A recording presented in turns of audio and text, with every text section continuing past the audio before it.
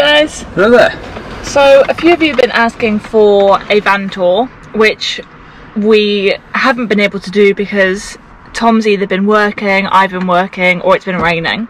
So, we're both off, we've got a nice view, it's sunny, and the van is clean. So we'll give you a van tour. Don't know what's going to be included in it. It's a van. There's only three and a half square meters. Like, don't get too, don't expect too much because it's not going to happen. This has been our home for the past nine months. Oh, nine months living in a van. Yeah. What a way to spend your thirties.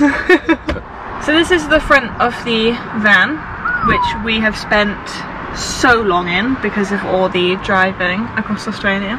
One difference that you might have seen since our last video is the one-seater. So we did used to have the two seats across here and it had like a pull down shelf but it took up too much space and we hated it so this does the job. but not much to say on the front. The front's the front. However, the back. So this is currently set up in travel mode.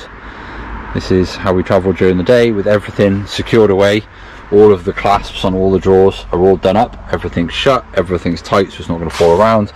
The fridge has got its feet locked and everything's secured in our little cargo net to stop it moving around. First up, kitchen. Side mounted kitchen which we're actually really happy that we got considering the head of the bed is at the back. If our cooking stuff was at the back, all the fumes, all the cooking smells are just going to saturate your pillows. So we're really happy it's been from the side and in a place like this, instead of being at the back, we can sit, and look out All the views. all the views. So, first up we've got our little butane gas stove. Very common, very popular, they're all over the shop. Little butane can, in it goes. When we were on the road we used to go through one of those every day and a half Yeah. About right. So now we barely go through them because we're on the campsite. We don't have anything apart from coffees in the morning and Kristen's coffee in the afternoon. And my hot water bottle at night time. water bottle. Actually, I suppose we are getting there now. Underneath, conveniently located, is our trusty Kmart kettle. $16, been used and abused three or four times a day and it's been going solid for nine months. we then got some cleaning stuff and all of our utensils. Big stuff at the back, little stuff at the front. Easy access for our spoons. And then underneath this, there is another compartment down here, which is the perfect size to store some more canisters. Into the mini pantry, we've got carefully, carelessly balanced our mini pantry. Got my oats, rice, pasta, coffee, sugar, protein, peanut butter, all the herbs and spices and cooking stuff that we need. Easy access, super easy to use. So the rest of our food goes into here, which is a little messy. um, but potato, sweets, my cereal, sugar, jam, etc. all goes in here.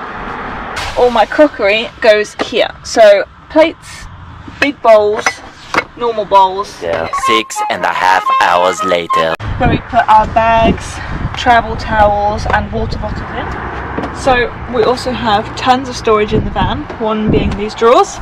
So here we put all of our underwear, uh, here is all of our wash stuff and this is our miscellaneous drawer. Everybody has that messy drawer at home. This is our drawer.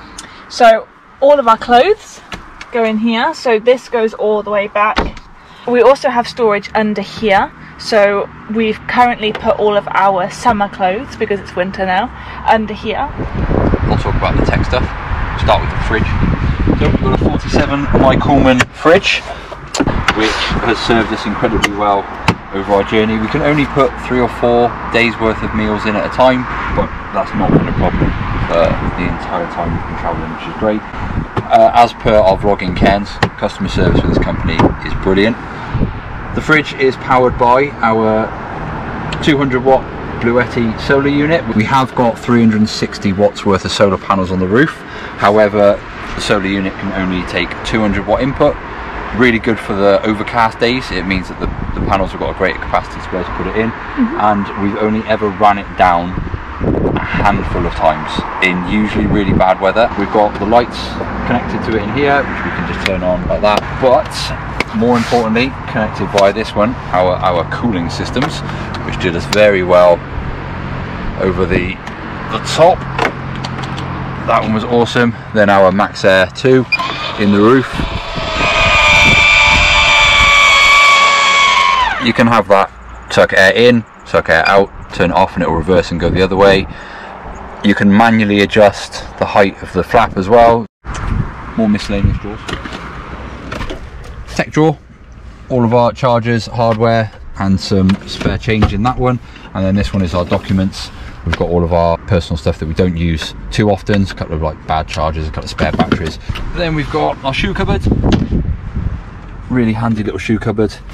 Also told a Range it was a toilet once and he believed it. Fire extinguisher, five litre water container that we've used the entire way um, in our cargo net.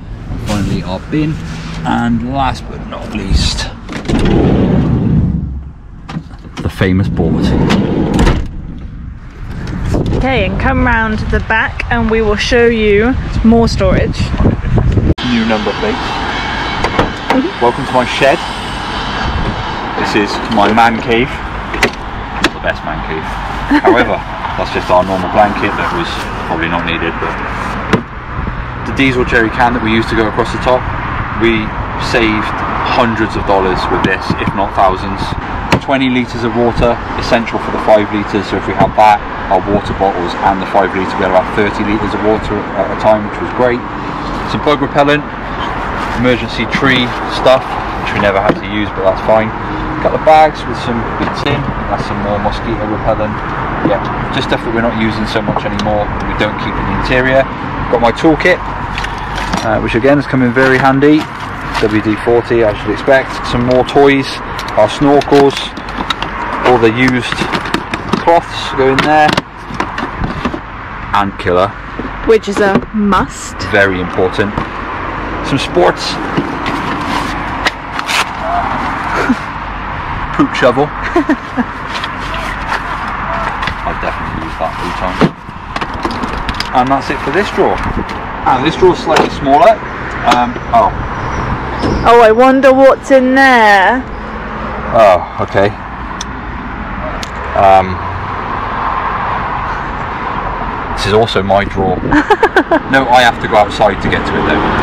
Filter, our bags, so both of our packing bags are in there that we came over with.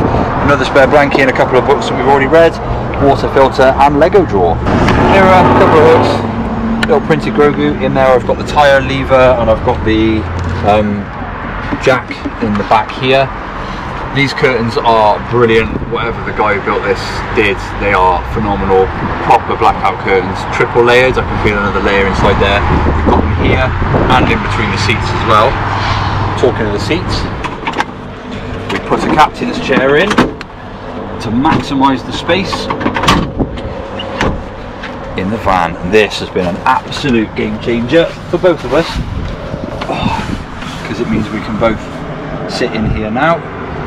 Kristen can sit on the bed, I can sit here. Now we're moving into our nighttime setup. So this is what it looks like before we go to bed. This is night mode. Yeah. So, obviously the bed extends all the way out. It is a small double, Very small double. very small double, but we both fit in it fine.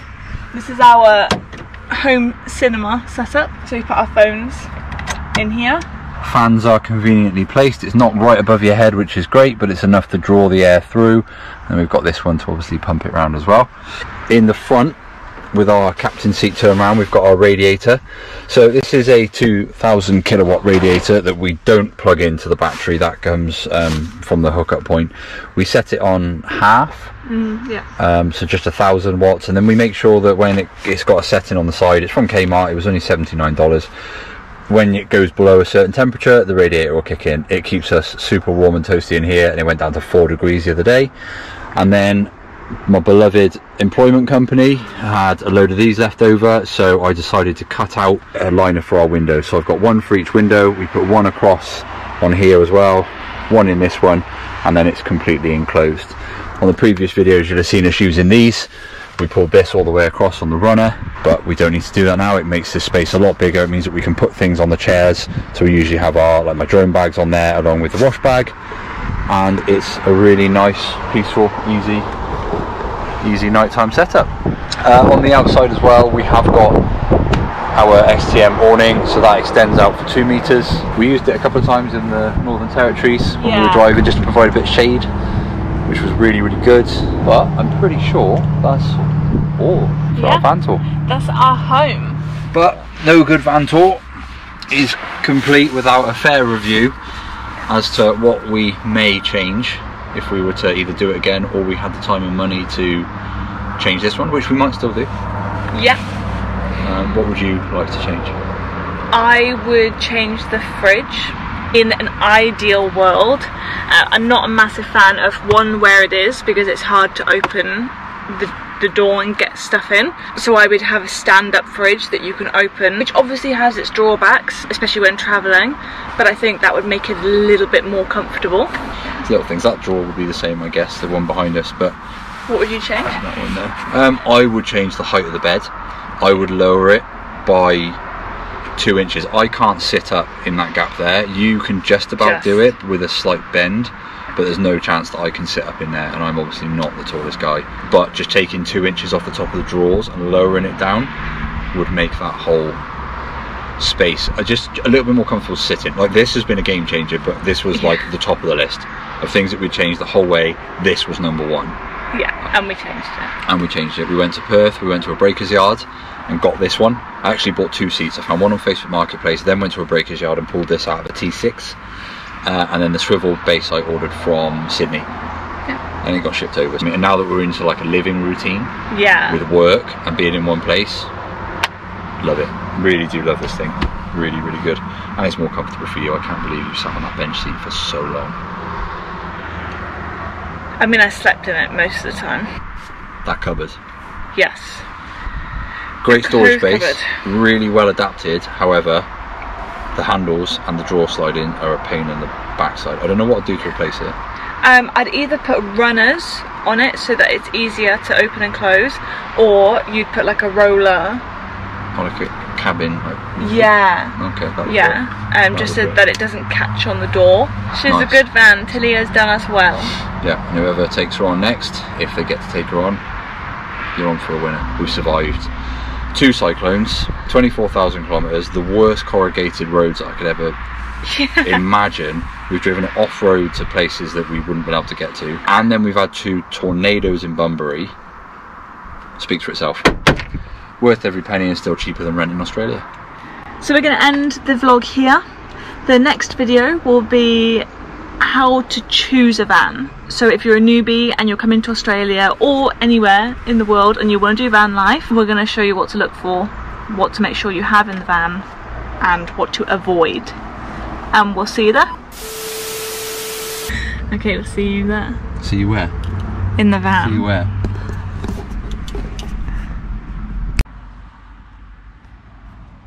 Action. It's not how this was going. You were doing this bit first. Oh, am I saying? Yeah, you did. Oh, you just okay. just literally what Yeah. you just said you were going to do.